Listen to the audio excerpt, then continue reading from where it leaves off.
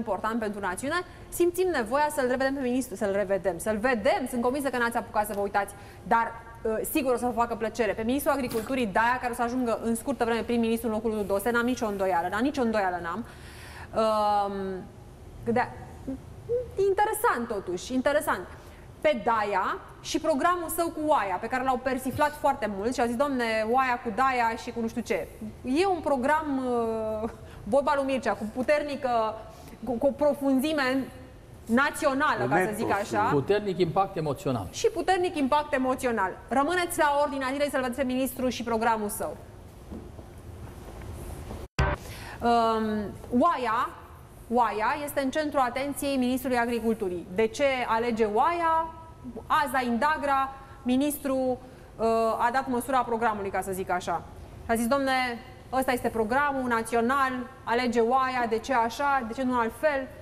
E foarte interesant joacă Daia uh, partea asta cu imaginea și oricum nu este, cred, vorba numai despre imagine.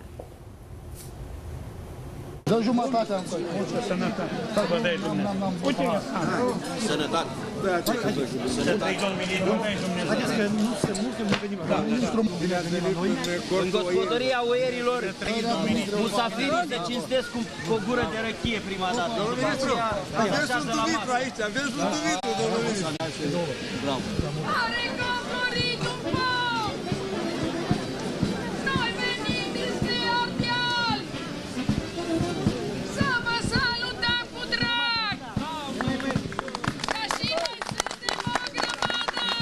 felicit pe toți crescătorii de ovine din România. Am făcut acest lucru pentru dumnealor. Vom fi mereu alături, alături, alături de ei. Vom face o piață de gros unde fermierii să aducă animalele respective, să poată să le valorifice în condiții sanitar-veterinare sigure, cu asistență veterinară din partea instituțiilor statului. Apoi, să dați-mi voie să salut acest oameni minunați. Numai să nu dați jos, că avem mai. Ia să o puteți să mă Voi fiți chiar ca oile noastre.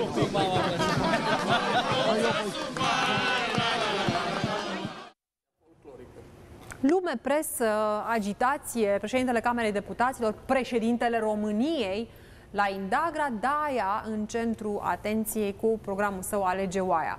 Încercați un comentariu răutăcios, domnule Marius Vintile de la PNL. Vreți răutăcios?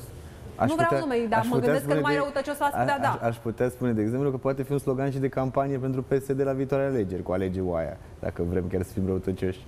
Uh, nu știu ce să vă comentez vis-a-vis de prestația domnului uh, Daia la Indagra, e ministrul agriculturii, bine că s-a dus acolo, nu sunt un specialist în agricultură, însă cu siguranță aș vrea să văd o mai mare inclinație și către proiecte de infrastructură mai mari către, către agricultură, nu doar focusarea pe, pe un singur Păi n-au segment. zis Aș că vrea a să văd spus că face o piață de gros unde să vină oamenii cu oile, să le taie, să le nu știu ce și să Da, aia, ar, ajungă... aia ar putea fi, din punctul meu de vedere, mai degrabă un proiect local, un proiect regional, decât un proiect neapărat al Ministerului. Ministerul ar vrea să se ocupe de, uh, De ce? fracturarea uh, proprietăților agricole, de investiții în, în infrastructura agricolă, în irigații, în lucruri de genul ăsta, în fonduri europene atrase pentru Dar să știți că sunt agricultură. bucățele și agricultura, Astea asta sunt e pe lucrurile pe bucățele, care le-aș spuneți vedea eu dumneavoastră, e pentru, făcut. Pentru Ministrul Agriculturii. În rest, prestația de de la Indagra o Vă văd, place mai mult, carnea de o văd oaie? mai mult ca o imagine. Uh, nu, sincer nu. Berbec mănânc, dar oaie nu. Oaie nu. Uh, Miel, deci n-aș mâncați de merge Paște? pe, pe alegerea asta. Da, și miel. Și miel. Bun.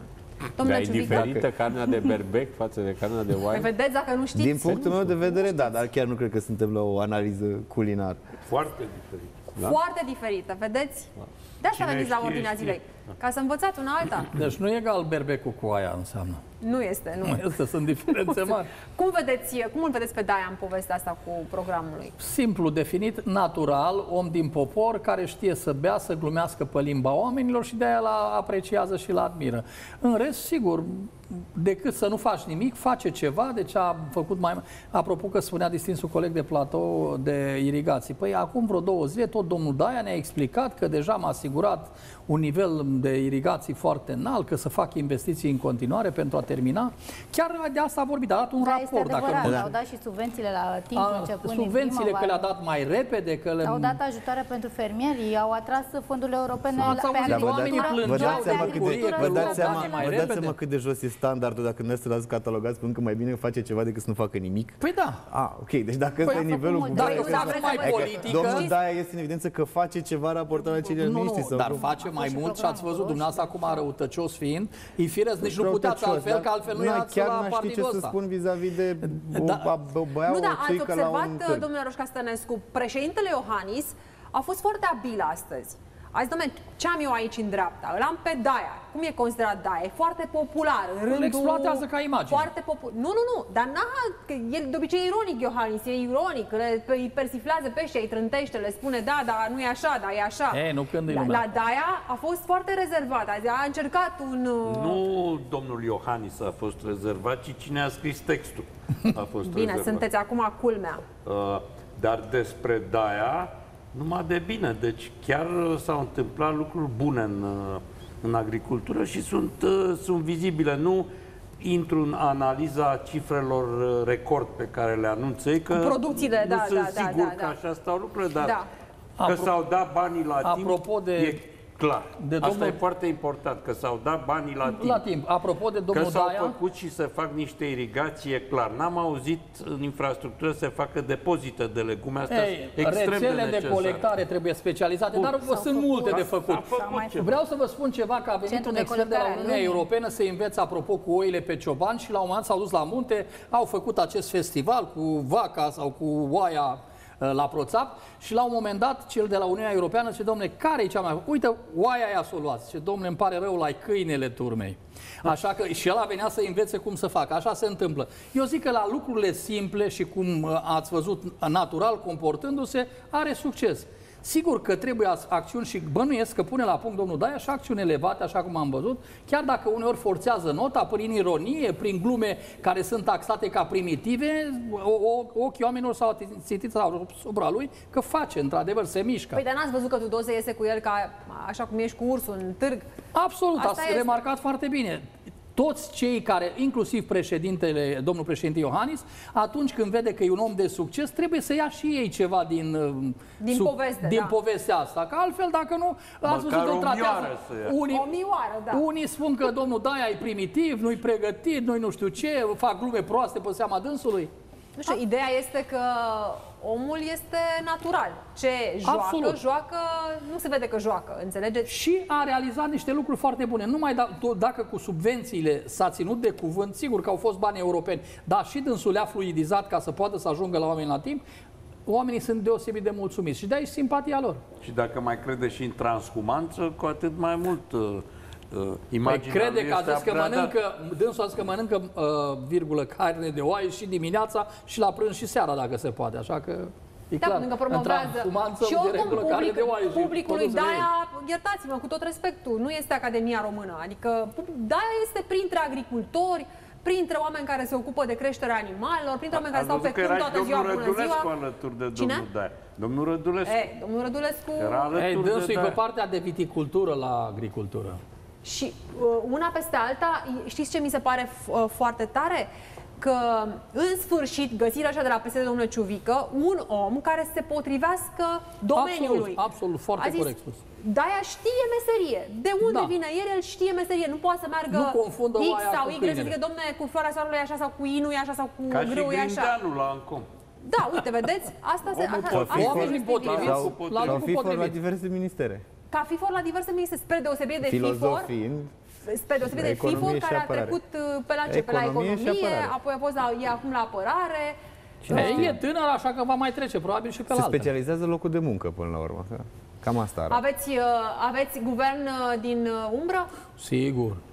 Avem comisii Care de, este avem ministrul comisii de PNL pentru specialitate. agricultură? Avem comisii de specialitate pe care Ministrul PNL pentru agricultură. Uite, chiar îmi scapă, nu știu să vă spun. Nu-l aveți, nu pot vă să scapă. vă spun, nu, uite, pot să vă spun de exemplu, la apărare Cum să că vă scape un președintele, ministru? președintele comisiei, nu avem un guvern, nu avem comisii de specialitate Păi și care dacă au mâine niște pică guvernul ăsta, președinți. ce puneți în loc? Se discută atunci. Pe loc, nu la permit cal? eu acum să Sigur. fac astfel de speculații Și cine și ce, comisiile ce acelea nici ministeri nu vor. trebuie să se întrunească o dată la trei ani. Nu, se întrunesc. Se întrunesc și se întrunesc destul de des. Și uite, vorbeam de apărare, de exemplu, Ovidiu Raețchi este președintele Comisiei de Apărare, au avut mai multe evenimente pe tema asta. Sunt, funcționează comisiile. Unele mai bine, unele mai rău. Nu, nu spun că toate funcționează Bun, perfect, Bun, acum e, dar e se normal funcționează. să-l critici pe FIFOR că nu are treabă cu apărarea, dar Gigel la ce legătură are cu apărarea Raețchi? Ce Ovidiu a Raețchi apărat este- până acum?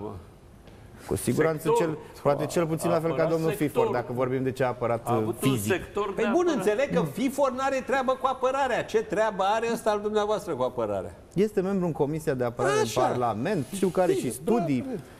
A fost deputat în ce să mai Orientul discutăm? Mijlociu, Ideal din ar, câte veni, știu, a ar lucrat fi foarte ca un mult cu om când militarii de ocupă o acolo. funcție să-i dea strălucire prin personalitatea lui. La noi întâi îl vine în funcție ca funcția să-i dea lui ulterior prin trecerea la mai multe comisii și comitete, ca să zic așa, și după aceea zice, domne, sunt specialist. Da, despre asta este vorba, despre oameni care știu o meserie, au făcut ceva și se potrivesc cu ministerul respectiv. Că sunt parașutați foarte mulți peste niște ministere și până învață limba ministerului respectiv, Îi trece schimbă. jumătate de mandat și când, să, când au învățat-o într-un final, practic căzându-le părul din cap celor care sunt în subordinea lor, că ajung oameni la exasperare, dacă niște proști în funcție, da, și neștiutori de carte, repet, da, cartea aia, a ministerului, cum ar veni, a domeniului respectiv, uh, vine revoluția sau vine meeting-ul sau vine președintele Iohannis sau vine un dosar de la DNA și pleacă ministrul respectiv și uite așa. Și tot așa. Da, groaznic. Credeți Groaznic că, ce? credeți E că, bă- groaznic, da. credeți Spuneam că Băsescu, de-aia știe meserie, Da, nu? credeți că, da, da, și asta este o aiureală să o fe- fetișizați. Credeți că Băsescu, când a venit ministrul transporturilor, nu știa cum e cu flota și cum asta? Știa atât de bine de a prăduit-o în 2 ani de zile. Bine, asta, Așa că buna lăsați și credință- asta cu priceperea. E, păi, foarte bine Pentru că atunci. peste tot în lume, Există tehnicienii care- uh, miniștrii Sunt secundați de, da, de nu, un... mi- miniștrii sunt manageri politici ai departamentului respectiv. Nu trebuie neapărat să fie ei specialiști în domeniul uh, Ba, mai Bine, bine, domnule, acela. mai bine bine.